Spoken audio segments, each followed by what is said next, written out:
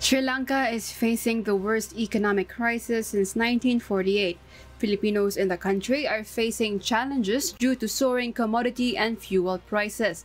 Sri Lanka is also facing shortages in food, fuel, and medicine supplies while protests are still occurring in the streets. In order to alleviate the difficulties of Filipinos in Sri Lanka, the Department of Foreign Affairs is ready to provide assistance by giving $300 financial aid per Filipino in the country. Repatriation process is also underway for Filipinos who wish to return to the Philippines.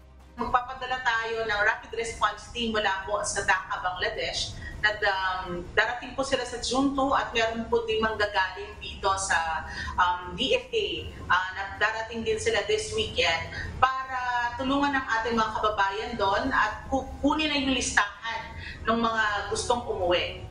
According to Department of Foreign Affairs Migrant Workers Affairs Undersecretary Sarah Lou Arriola, there are 492 Filipinos in Sri Lanka. For the repatriation assistance, the DFA will also provide travel documents, especially for the children of Filipinos in Sri Lanka with no Philippine passports. Filipino parents will have to present their child's birth certificate.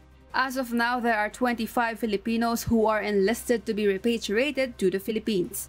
The DFA said they are also coordinating with the Overseas Workers Welfare Administration and the Department of Social Welfare and Development to assist Filipinos after the repatriation. Aileen Cerrudo, UNTV News and Rescue, we serve the people, we give glory to God.